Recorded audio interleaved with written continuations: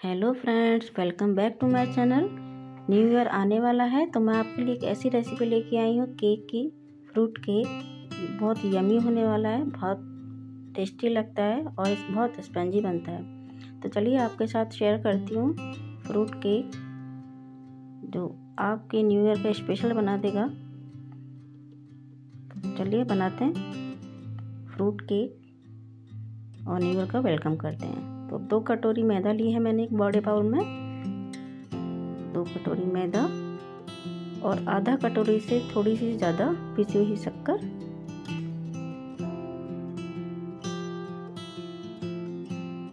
आधा चम्मच baking powder और आधा चम्मच मीठा सोडा।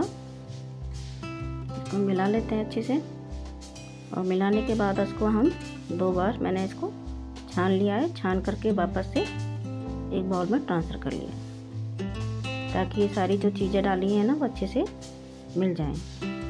और अब डालूँगी मैं एक चम्मच वनीला एसेंस और छोटी वाली कटोरी, आधा कटोरी दही। और मेल्टेड एक कटोरी मक्खन। टूटी फ्रूटी एक कटोरी भरकर। ये कम ज़्यादा कर सकते हैं, आपको नहीं पसंद तो। मुझे बहुत अच्छी लगती है, बच्चों को बहुत अच्छी लगती है।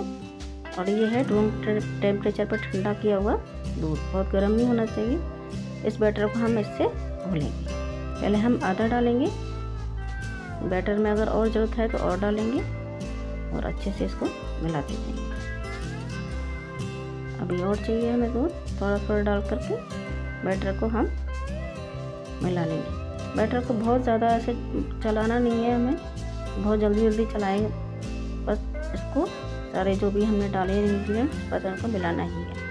इस तरह का बैटर हम हो जाएगा इसमें हमें एक गिलास दूध लगाए और अब हम लेंगे एक बेकिंग ट्रे। इसमें लगा लूँगी मैं घी थोड़ा सा अच्छे से फैला लेंगे घी को चारों तरफ़ और थोड़ा सा मैदा डाल के डस्ट कर लेंगे।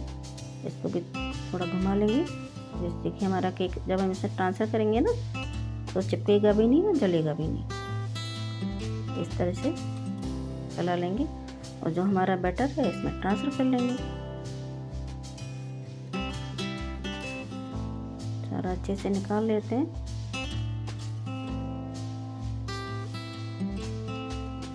बहुत यमी लगता है ये केक ये खुशबू भी अभी से इतनी अच्छी आ रही है तो बनने के बाद तो बहुत ही अच्छी आएगी खुशबू। वनीला एसेंस की बहुत अच्छी खुशबू आती है। इसको आप टैप कर लेते हैं, ताकि कोई बबल ना रहे इसमें। इस तरीके से टैप करेंगे।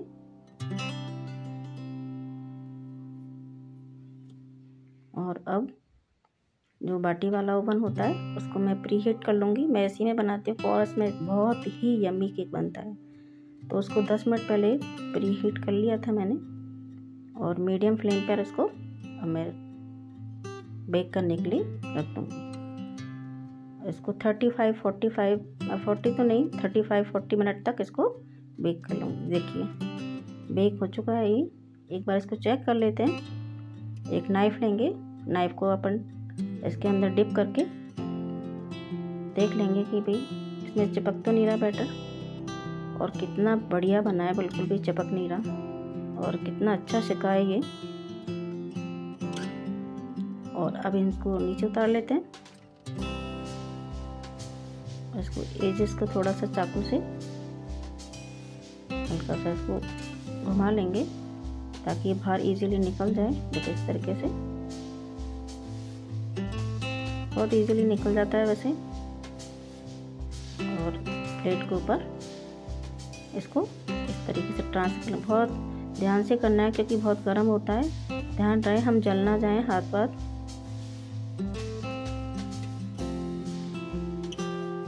कितना अच्छा कलर आया है कितना बढ़िया बेक हुआ है। कितना स्पंजी बना है ये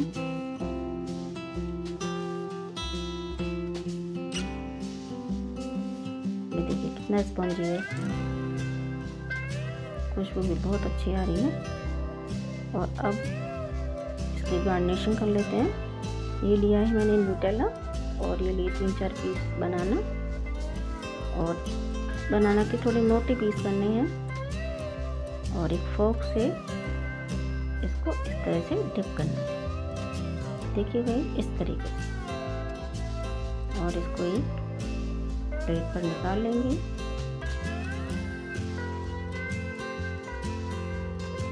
इस तरह से कोट करना, उसके बाद इसको रखना है फ्रिज के अंदर, ताकि ये पूरा जो नोटेला इसके ऊपर चिपक जाए और ये शेप में आ जाए। और अब ली मैंने एक कीवी और कीवी के भी मोटे मोटे स्लाइस किए हैं मैंने। बहुत पतले नहीं करने। इस तरह से मोटे मोटे और इसको देना है एक फ्लावर का शेप तो फ्लावर का शेप किस तरह से देंगे? हमें इस तरह से लेके एक एक पीस लेकर के और ना जिग जैक जो करते हैं ना जिग जैक के देख इस तरीके से काटेंगे। ऐसे निकाला। और ऐसे जिग जैक तो एक फ्लावर का शेप आ जाएगा। बहुत सुंदर लगता है दिखने में भी। बच्चों को तो बहुत ही अच्छा लगता है। देख के बच्चे, जो बच्चे फ्रूट नहीं खाते हैं ना, उनको भी बस मन ललचा जाता है। अच्छी डेकोरेशन होती है तो बच्चों को भी अच्छा लगता है, सभी को अच्छा लगता है। और इस तरीके से हम फ्लावर की शेप देंगे। सारे जो मेरी कीवी हैं, उनको तैयार कर लेंगे। देखिए कितना सुंदर लग रहा है देखने में। और इस तरीके से सारे जो कीवी हैं, उनका शेप बना लेंगे और एक प्लेट में इनको तैयार कर लेंगे। और सावधानी से काटना है शेप देने के लिए। देखिए गाइस कितने अच्छा लग रहा है देखिए, इस तरह का शेप बनाना है। और बहुत प्यारा लगेगा। कितना अच्छा बना है। सारे मैंने तैयार कर लिए हैं एक बाउल के अंदर। आप दूसरे फ्रूट्स भी ले सकते हैं स्ट्रॉबेरी वगैरह वो भी अच्छे लगते हैं। जो आपके पास अवेलेबल हो और हम मिक्सी अब बनाएँगे हम क्रीम डेढ़ सौ ग्राम के आसपास है ले लेते हैं बटर बटर ये करीब डेढ़ सौ ग्राम की तरह मैंने लिया है बटर और इसको हम जब चलाएँगे ना इसकी एक ट्रिक है कि इसको कंटिन्यूस नहीं चलाना। इसको धीरे धीरे एक बार चलाया मिक्सी थोड़ी ऑफ़ कर दी।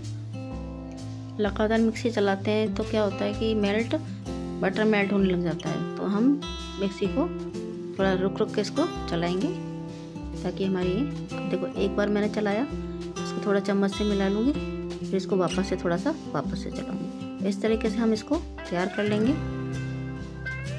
इस तरह से चलाते जाएँगे, फिर वापस एक बार और उसको मिक्सी में चला लेंगे। जिससे कि हमारी ये जो क्रीम है, तैयार हो जाएगी।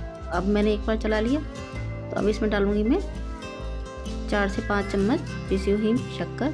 तो आप अपने हिसाब से कम या ज़्यादा मीठा चाहते हैं, उस हिसाब से डाल सकते हैं। वैसे इतना सफिशेंट होता है। और इसको एक बार और चला लूँगी। बहुत ज़्यादा लंबा नहीं चलाना, हल्का सा चला करके ये मेरी होगी आइसिंग क्रीम ये रेडी हो गई। और मैं इसको एक ट्रांसफ़र में बाउल ट्रांसफ़र कर लूँगी बाउल में। इतनी अच्छी बनी है, देखिए। हम घर पे जो हम मार्केट से लेके आते हैं, जो देखो, घर पे हम बनाए तो जो होममेड चीज़, वो अच्छी तो रहती ही है। और प्योर चीज़ मिल जाती है हमें घर पर। तो इस तरीके से हम बना सकते हैं घर पर इजीली और अब ये मेरा केक बेस है, इस पर अच्छे से इसको स्प्रेड कर लूँगी।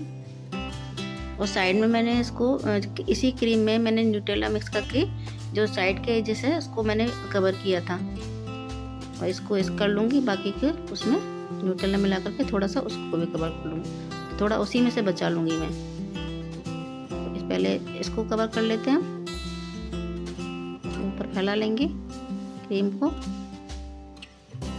इसमें मुझे एक कोट करना है और बाकी की मैं न्यूटेला मिला करके साइड से चॉकलेट का मतलब जो फ्लेवर देना है ना, वो उससे आ जाएगा। और बहुत अच्छे से कवर हो जाएगा। ये देखिए, मैंने साइड में कवर कर लिया है। और इसको और कलरफुल बनाने के लिए इसमें मैंने जेम्स डाली है कलरफुल और इससे बहुत प्यारा कलर आ रहा है। इसमें एकदम सुंदर लग रहा है।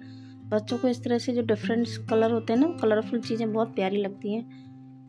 इस तरीके से हम पूरा इसको कवर कर लेंगे। जैम से। और जो मैंने फ्लावर बनाए थे कीवी के तो उसको भी हम रिप्लेस कर देंगे। इस तरीके से। ये भी कितने प्यारे लग रहे हैं। इस कलर के साथ बहुत मैच कर रहे हैं। सारे फ्लावर लगा लूँगी। कितना सुंदर लग रहा है ये लगाने के बाद। और जो मैंने बनाना जो फ्रिज में रखे थे सेट करने के लिए, वो भी उसे साइड में लगा दूँगी। और इस तरह से ही, डेकोरेट हो जाएगा। कितना प्यारा लग रहा है। आप भी बनाइए ये। केक आपको मेरी रेसिपी अच्छी लगी हो तो लाइक कीजिएगा, शेयर कीजिएगा, सब्सक्राइब कर